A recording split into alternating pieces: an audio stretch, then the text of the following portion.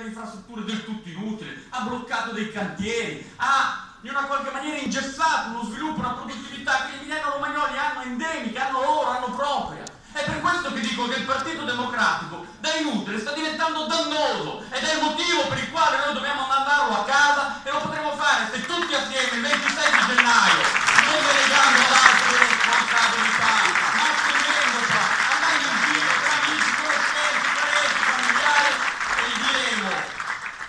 il 26 gennaio